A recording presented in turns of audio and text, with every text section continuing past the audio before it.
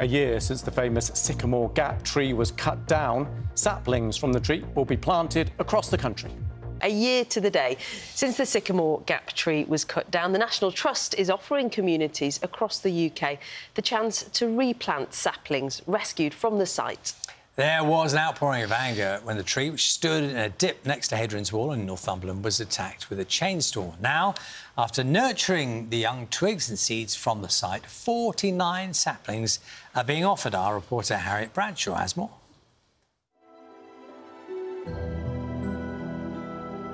The iconic Sycamore Gap tree. It was shocking, it was devastating, it felt really brutal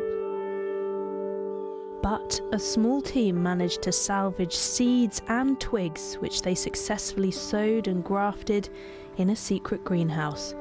This tree has been given a second chance at life. See, Chris, the last time I was here, I could hold these seedlings in my hands. What's happened to them?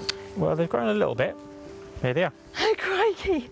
Look at that, that one's taller than me. And I'm five foot five. Yeah, they've done pretty well. How many have you got? We've got roughly about 100 at the moment, um, but we've got a few more seedlings coming on as well. And there's about nine or so grafts and budded plants. You can't help but feel hopeful handling new life and seeing the roots here are established. But the question now is, where will their new homes be? The National Trust wants these saplings to be symbols of hope and healing. Each tree will go to a very special place. One of the first will be planted here in memory of 12 year old Fergus.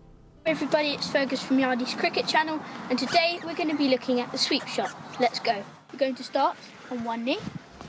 Fergus was an absolute delight. Um, it was a joy and a real privilege to be his mum. Fergus was planning a trip to walk Hadrian's Wall, along which the Sycamore Gap tree was nestled, but he never made it. Yesterday, they gave me some news. I have some sort of cancer in my leg. He was diagnosed with primary bone cancer, osteosarcoma. Your worst fear after your child dies is that he'll be forgotten. Since Fergus died, nature has been a constant source of strength to us, its power to regenerate and to console. Take me to where this tree's going to go then, Ruth. This is the spot we chose. Fergus came here every, every day. There's something about the story of the new life being created from the Sycamore Gap that made me think of all, all the children affected by childhood cancer. They deserve a second chance of life. The original sycamore was 49 feet tall, and there will be 49 saplings for communities to apply for. Uh, it's really satisfying seeing how well they've done actually. It was a little bit touch and go at the beginning. The trees will be going to projects such as this, Tina's Haven in Easington on the Durham coast, where do we think that the sapling might go then, Eric? Thinking about the entrance, mm. uh, because I think it could be really powerful.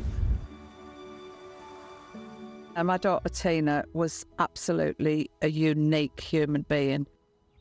Through her life, although she, she had issues with childhood trauma, um, addiction, and, and, and, her, and her mental health, she was bold, she was strong, she was beautiful.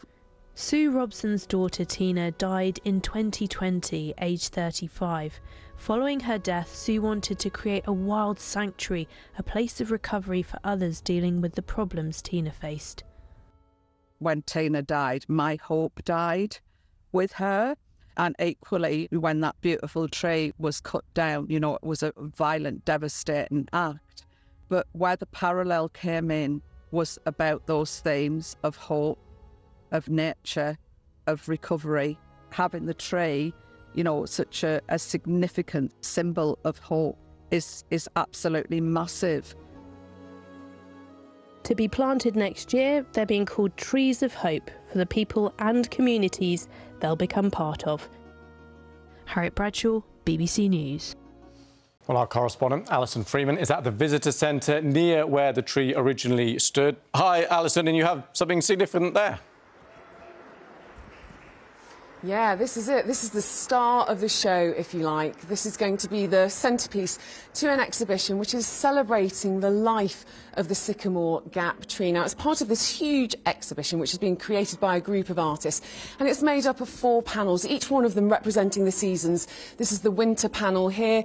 We have the autumn one that the Sycamore Gap trunk features in because that was the time of year that it was it was cut down. We travel through to spring and into summer. Now, when you add up the lengths of all of these magnificent wooden panels, that makes up the height of the Sycamore Gap tree. Now, as you were saying, today is about hope, it's about moving forward.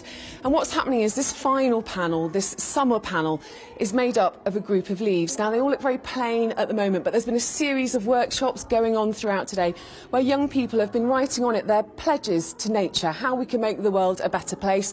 They're going to be fixed up here. They're going to make a beautiful, brightly coloured display, and that will be the centrepiece of this exhibition, which starts tomorrow, Lewis.